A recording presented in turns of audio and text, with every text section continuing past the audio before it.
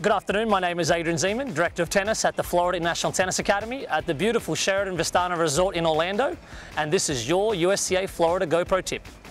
The one question I'm constantly asked by the club member or aspiring top junior player, how can I create more topspin?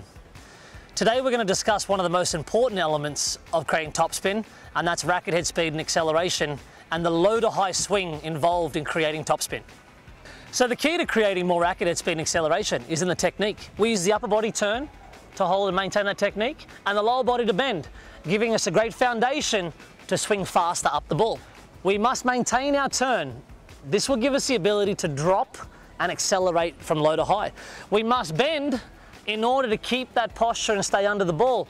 When we connect the two, the turn and the bend, we give ourselves a wonderful platform to swing faster up and through the ball. We can attack our opponent with topspin, we can defend with topspin, and we can use topspin to effectively control the ball and move our opponent. And that is your USTA Florida Go Pro tip.